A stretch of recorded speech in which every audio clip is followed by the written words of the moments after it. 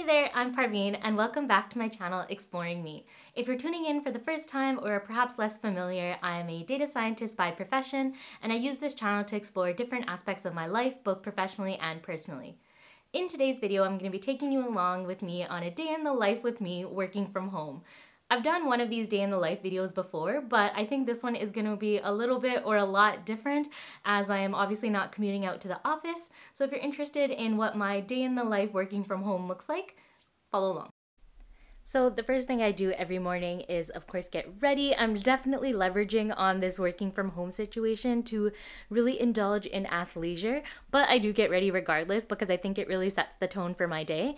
The next thing that I do is right here behind me actually, I like to write down a top 3 things that I'd like to achieve during the workday on this calendar back here. I don't write it really neatly or nicely, anything like that. Just get down my thoughts right away so that I can have some good intentions going into the workday. One of the things that really helps me sort of feel motivated to start work in the morning is that my team has actually done this check in right at 9 a.m. We don't necessarily talk about anything that we're working on specifically, but just checking in on how everyone is doing, if everyone has having issues with working from home, whether that be with their childcare or whatever they might have going on. I think it's a nice touch base and it kind of keeps me motivated to be ready to go sitting at my desk at 9 a.m. So I think that really helps kickstart my day, but I'm going to be setting up for that now.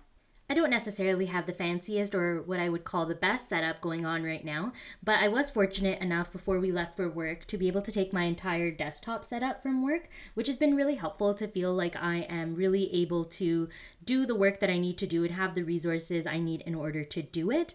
But I don't have a webcam on my desktop, so I am using my laptop, which is resting on what is apparently a very dusty old shoebox to increase the height to check into meetings. So I think it's just about time to check into my 9 a.m morning check in with my team. All right, so I just finished my morning check in, which is always really nice to be able to check in with the team, figure out what their priorities for the day are, what they've been up to.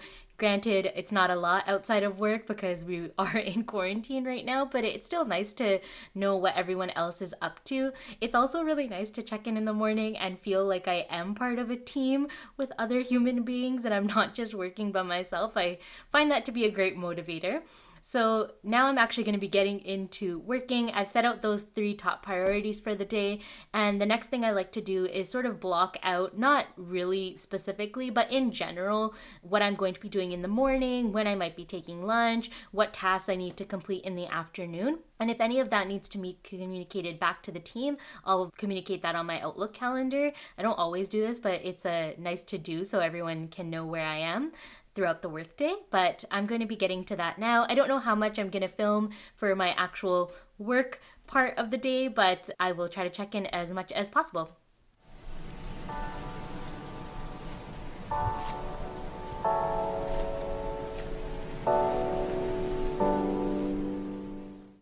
So this morning I've been able to get through my emails, which is always really nice.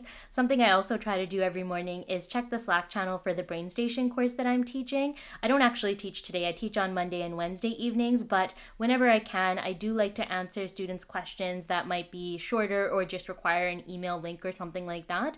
So I'll try to do that in the mornings, which I've been able to get through. Anything that's longer, I tend to leave for the evenings and anything I need to help them work through. But quick things I do try to get to in the morning. So I've gotten through emails and any correspondence I need to get to. Now I'm going to be working on some dashboard development, which I'm pretty excited about wrapping up. I'm not going to be able to show the process of that, but that's what I'm going to be working on next. I am checking in now a little bit before noon. I'm going to be having a bit of an early lunch today. For lunch, I'm just going to be having a bowl of matar, which is basically just a glorified soup and some water at least one of the positives of working from home has been I've definitely been drinking a lot more water, which is a good thing. And while I eat, I will probably just be catching up on some YouTube, so just gonna enjoy some lunch now. So now it actually is noon. I just finished eating lunch. Today I actually have something different. Our team has set up this online games hour at lunchtime. So we're all going to be logging in remotely and playing some online games. Just a nice way to stay connected with everyone in the office while we are all away. So I'm going to be logging on. I think we're playing a game called Drawful. I'll try to get a couple clips of it.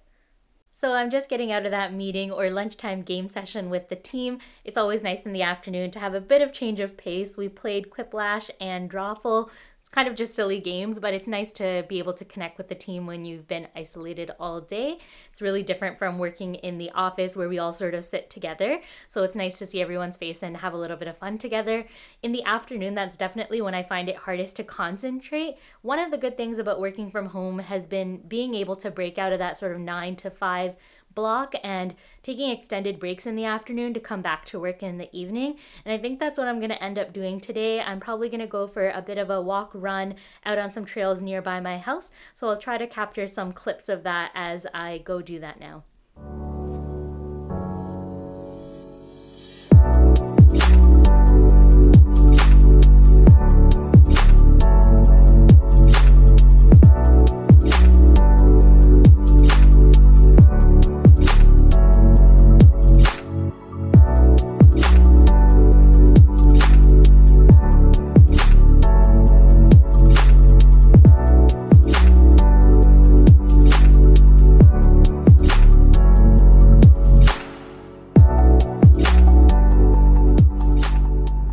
All right, I'm back in the car now. I think I was out there for about 45 minutes.